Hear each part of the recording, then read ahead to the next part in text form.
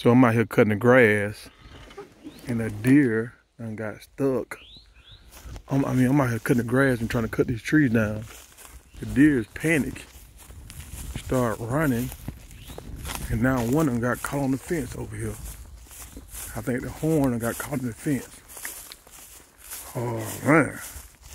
And Steven, you out here by yourself, man. This ain't really what you want to do. Uh I don't even know why they went crazy like. They didn't see me a bunch of times. So,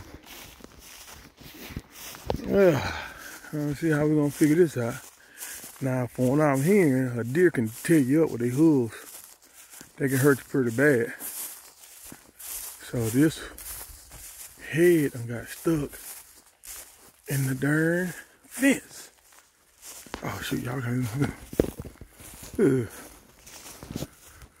So this joker trying to hang himself. Oh man. What the freak is going on here?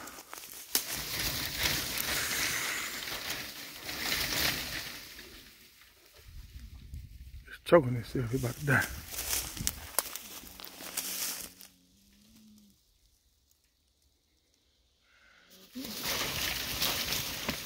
So back Dang.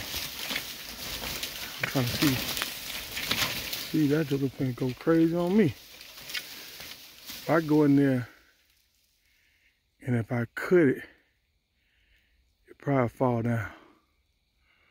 But I don't want to go in there and get beat up either.